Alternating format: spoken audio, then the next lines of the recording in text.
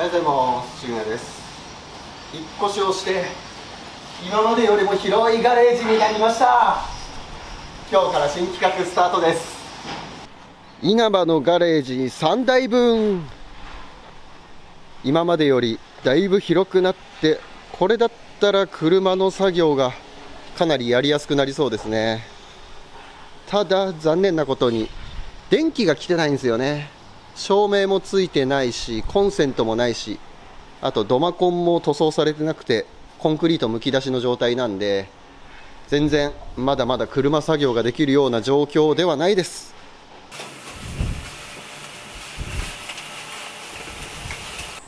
ということで今日はこのガレージの塗装です。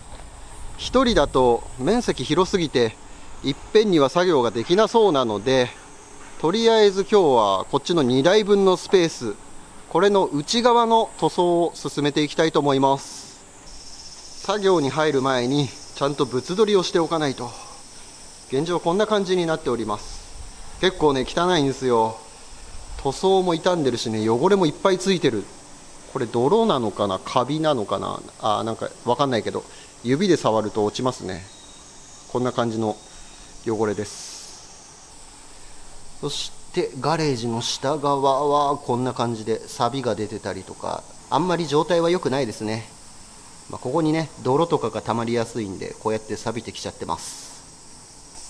続いて天井。天井はね割と綺麗に見えるんですけど近くに寄ってみると意外と汚れてます。そしてガレージの一番奥。ここにはねこうやって棚が置いてあるんですけどこの棚の上も泥汚れがすごいですね。泥っていうか砂というか。ほらもうもうもうもうもうもうもう悲惨こんな状態です。このままじゃ、えー、塗装ができるような状態ではないのでまずはこのガレージをきれいに洗っていきます。あとシャッター。シャッターも今回一緒にねきれいにしてしまいます。ちょっとね暗くて分かりにくいんですけどシャッターも結構汚れてます。表側はこんな感じです。こんな感じで汚れがついてたりとかあと塗装もね結構傷んでてほら白くね粉が出てるんですよ。こういうのも綺麗に落としてあげないとこの後塗る塗料が密着不良を起こしたりとか縮れてしまったりとかいろいろトラブルの原因になるのでこういうのも綺麗に高圧洗浄機で洗っていきたいと思います。あちなみに使うのはこちらです。いつも車を洗うのに使ってるやつよりもさらにパワーが強い。これで洗うと密着不良の塗料とかね結構パリパリ剥がれるぐらいパワーが強いやつなんでこれでひたすら洗っていきたいと思います。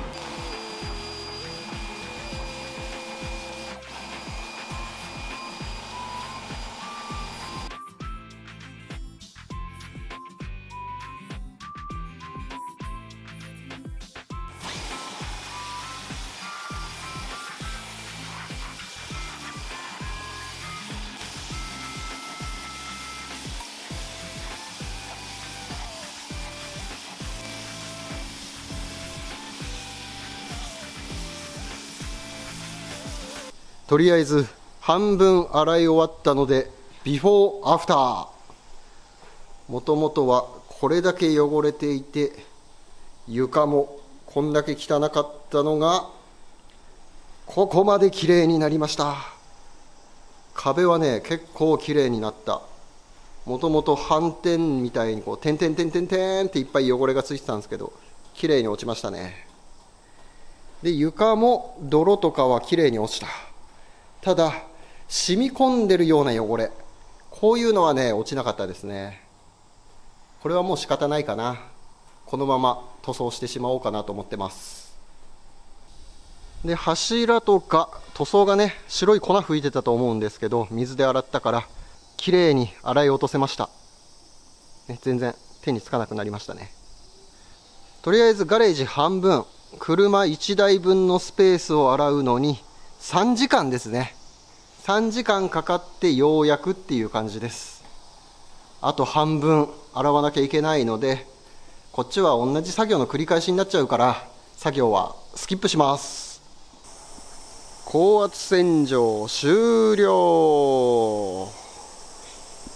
ただ水洗いするだけでも汚れが落ちて結構綺麗になりますね。とりあえず板金からガレージこう車ぶつけたんでしょうね。思いっきりここ歪んでるんですよ。折れてるの分かりますか？こんな感じになっちゃってるんでこの曲がってるの直していきます。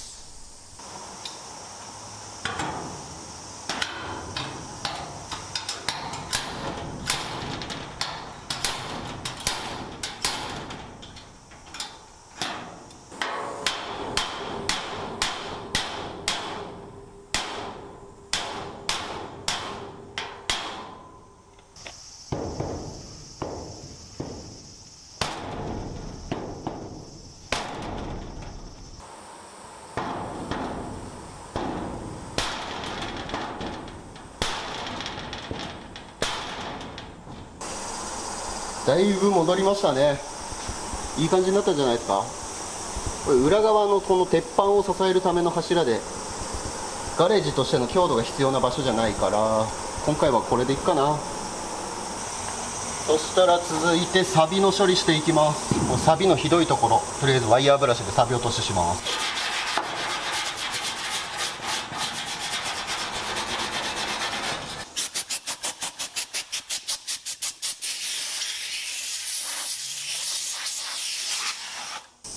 サビを落としたらサビキラー。水で希釈したやつ塗っていきます。この中の方に染み込むようにたっぷりたっぷり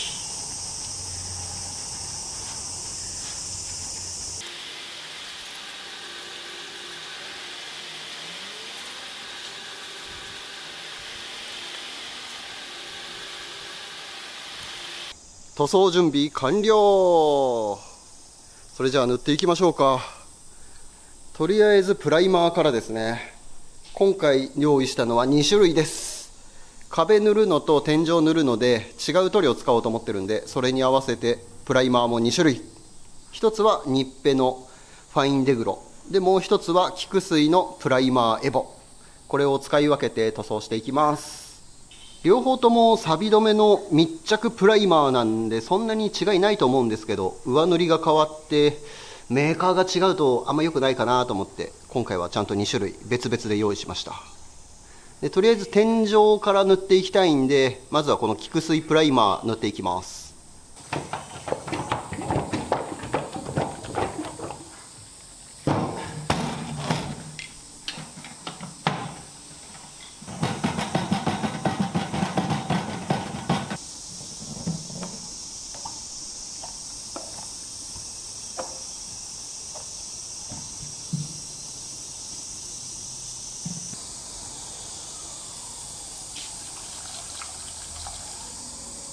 よいしょううわ上熱いねあー。結構熱持ってんだね。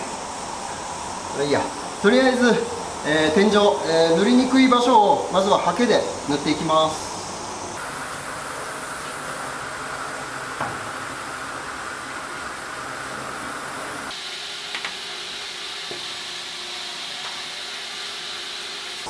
で刷毛で塗ったら次はローラーで、えー、広い面積一気に塗っちゃいます。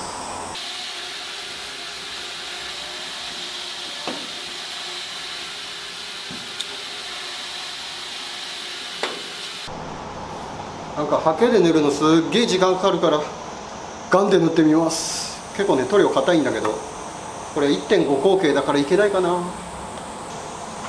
けるかな。よいしょ。わ出がやっぱ悪いな。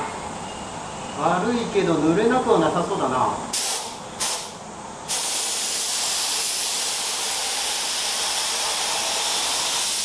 いけるいけるいけるいけるいける。エアー高めにしたら濡れた。ハケやローラーで塗るよりもスプレーの方が綺麗だからいいかな。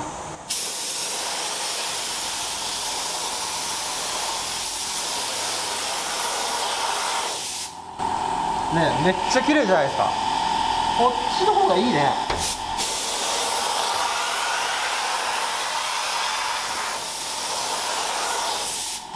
よし奥まったとここれで塗ろう。決定やっぱりスプレーガンって素晴らしい。ハケで塗ると筋が残ってしまったり奥まった部分が濡れてなかったりあんまり綺麗じゃないんですけどスプレーガンだとめちゃくちゃ綺麗に塗れます。ただ建築用塗料を車用のスプレーガンで塗るのはあまりおすすめしないですメーカー指示ギリギリまでシンナーで希釈して柔らかくしたんですけど、それでも塗料の粘度が硬くて、塗るのがすごく大変でした。あと 400cc のカップだから、あっという間に塗料を使い切ってしまって、何回も補充しなきゃいけないから、やっぱりちゃんとした建築用のスプレーガン、1リッターのカップにノズルの口径は2ミリ ?3 ミリぐらいのちゃんとしたやつを使えば、もっと早く、そして綺麗に塗れたのかなって思います。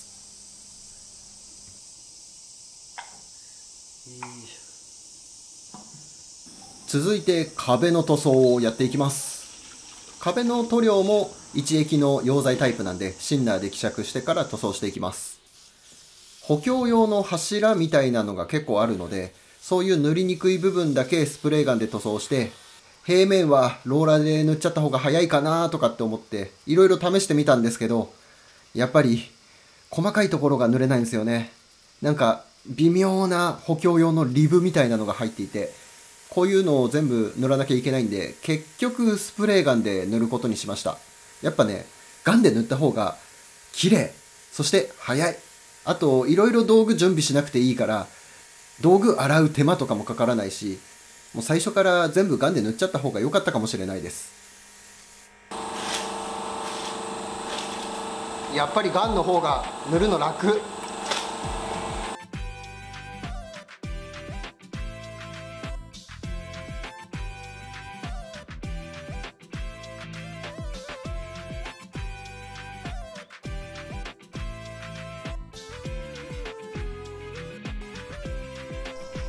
塗装翌日。昨日の夜頑張って全部塗装しちゃいました。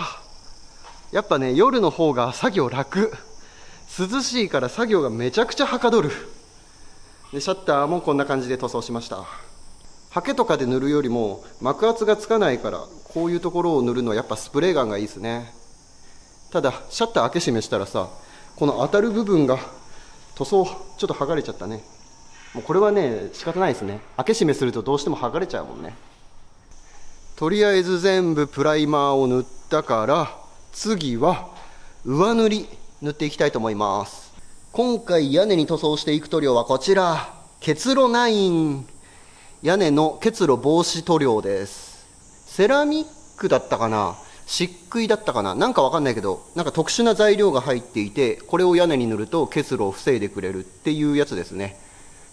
ガレージね、夏の時期はいいんですけど、冬になると、どうしても温度差で屋根がね、結露して水が垂れてくるんで、それをちょっとどうにかしたいなと。まあ、車にボタボタかかるのも嫌だしさ、塗装とかやってる時に水がピチャってなるのも嫌だから、そうならないように、屋根にこの結露防止のやつを塗っていきます。いや、硬いね、蓋。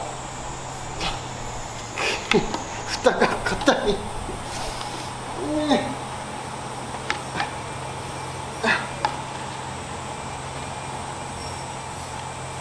あよいしょ。お直接入ってるんだね。よしうわこれですよこれ。もう塗料じゃないもんね。漆喰みたい。ドロッドロ。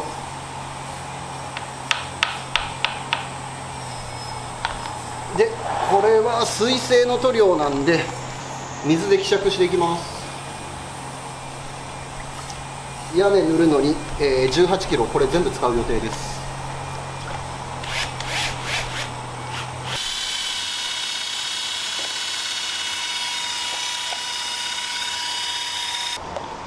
お水混ぜたらだいぶ柔らかくなりました。これでもまだ硬いけどね。やっぱ車用のガンじゃこれじゃ塗れないよね。最初これハケで塗ろうかなと思ってたんですけど屋根すげえ塗るの大変だったからやっぱ新しいガン買ってきて正解だったと思います。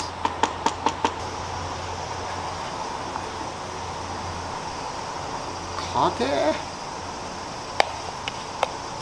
水で溶いたとはいえすげえ硬い。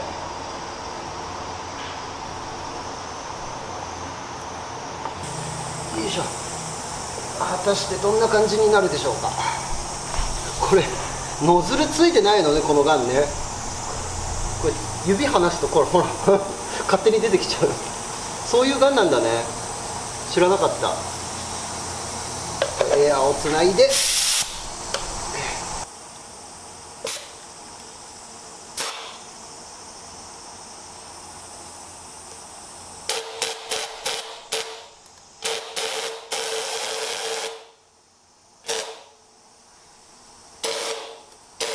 おおそういう感じね。理解理解。それじゃあ塗っていきます。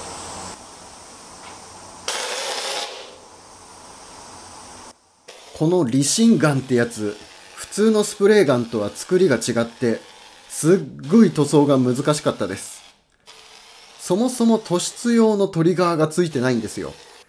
ちょっと立てて使おうとすると塗料がダラダラ垂れてきちゃって屋根塗るために上に向けて使うからトリガーが必要ないんですかね。今まで車の塗装をやるときはカップを地面に垂直にして使うようにって教わってやってきたからそれと真逆のことをやらなきゃいけなくて慣れるのに結構時間がかかりました。塗装終了。綺麗に塗れたかどうかわかんない。これの正解がわかんないから。まあでもそこそこうまく塗れたんじゃないかな。最初の方に塗ったのがここですね。ここはねちょっとあんまり良くないかもしれない。ガンの突出量とかも分かんなかったしさガンの使い方も分かってなかったしいまいちねこう綺麗に塗れてなくてところどころだらっとしてたりするんですけどある程度分かってくるとこんな感じかな。えー、まあまあ綺麗なチッピング模様みたいななんだっけ理心模様だっけ？っていうらしいんですけどそんな感じにうまいこと塗れたんじゃないかなと思います。そしてこっちが向かって右側ですね。こっちもそこそこいい感じに塗れたような気がします。これで多分屋根からの結露が抑えられるんでしょう、えー、どのぐらい効果があるかは全く分かりません。ググったらこれが出てきたんでたまたまこれを使ったんですけどこれで結露がなくなるといいね。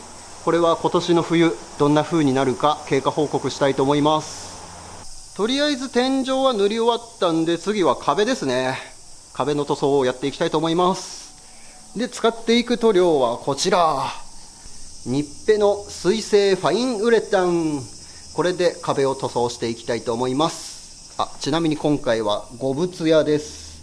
あんまりツヤツヤしすぎるとカメラの撮影すごく難しいかなと思って半ツヤでしかも色もオフホワイト、えー、真っ白じゃなくて撮影のこと考えて若干くすんだような白を選んでみました。うんとなんか適当なテストピーステストピースはこれでいっか。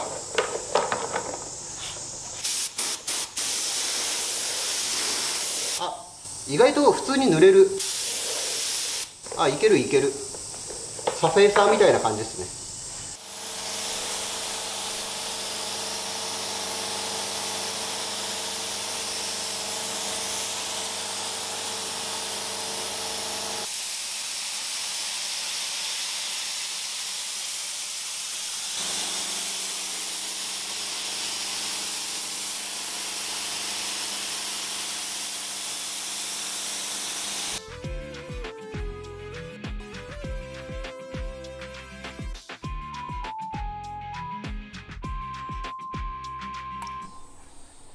さらに翌日。綺麗に塗れた。めっちゃ綺麗になった。あの下塗りのプライマー結構ムラムラしてなんか大丈夫かなって思ってたけどこれ上塗り塗料はね隠蔽力も高くてすっごい綺麗。いいねガレージ全体が白くて清潔感のある感じになりました。外から見てもね明るさが全然違う。こっち塗装した方。そしてこっちが塗装してない方。やっぱ壁の色が白くなると明るくなるね。全然違うもんね。こんだけ違います。あとこれはね予想外の誤算だったんですけど屋根。屋根意外とね熱くない。まあそれなりには熱あるんですけどこう手をかざすとね熱の感じは感じるけど何もしてなかった時に比べて全然熱くない。だいぶ違います。本当はね結露を防止する目的で塗装したんだけどこれはいい誤算だね。夏場の作業がだいぶ楽になりそうだ。ちなみに何もしてない方はというとこうやって手かざすだけでもうなんかじりじり、え、熱気を感じます、えー、完全に感覚の説明で申し訳ないんですけど温度計とかそういうのないんで感覚なんですけど、えー、体感はね結構違います。さあということで、え今回ガレージの塗装終わったんで次回、えドマコン塗装してで照明器具つけてあとロッカーとか移動してこっちの作業場を使えるような状態にしたいと思います、えー、なんかねもう今すぐに蛍光灯をつけたい人がすぐそばにいるんですけどとりあえず今回はここで一旦一区切り入れたいと思います。最後までご視聴ありがとうございました。また次回お会いいたしましょう。バイ